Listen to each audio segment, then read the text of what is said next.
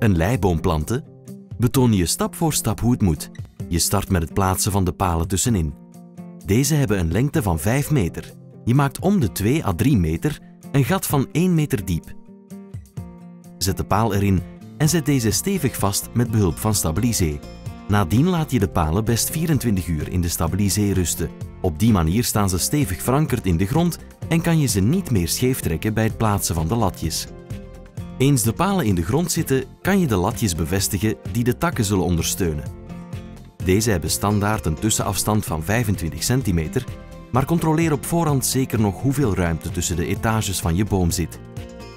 De latjes bevestig je met een vijs of houtschroef aan de paal.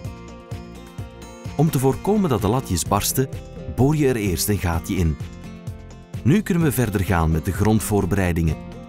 Je graaft een plantvak uit dat aan alle kanten 30% groter is dan de wortel van de boom.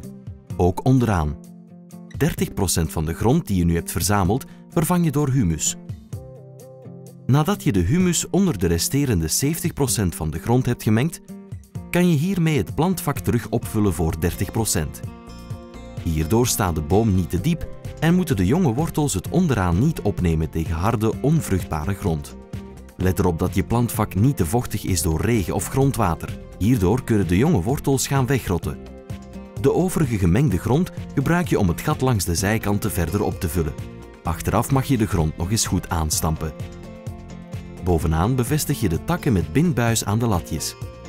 Je kan ook touw gebruiken, maar met bindbuis ben je er zeker van dat de boom er niet omheen zal groeien. Met de afwerking kan je tenslotte doen wat je wilt. Boomschors, kiezelsteentjes, planten of bloemen. Het kan allemaal.